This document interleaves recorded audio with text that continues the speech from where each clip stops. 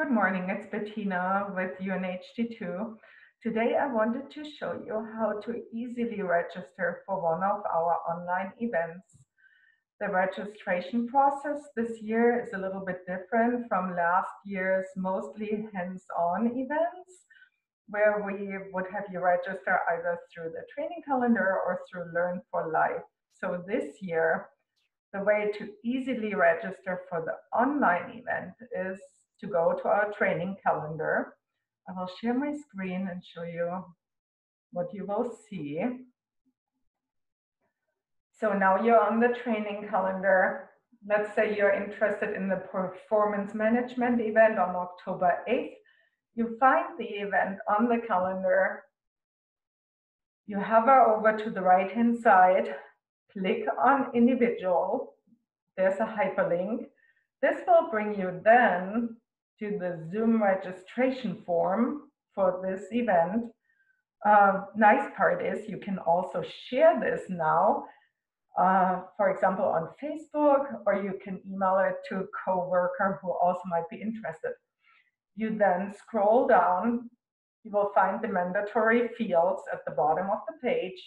Please fill those in um, very thoroughly.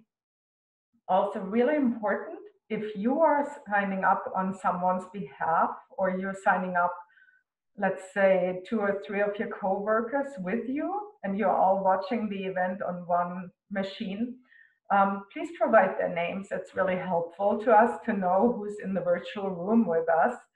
And also, um, it will let us give them the Roads Scholar credit. You then click the register button, the blue button at the bottom, and that sends your registration to us. You will receive a confirmation that you're registered for this event. And usually the evening before the event or on the morning of the event, we will send out a reminder email with the most important meeting details, meaning your uh, Zoom hyperlink for, for the meeting, and also a passcode for security reasons. With those credentials, you should have no problem uh, accessing the meeting.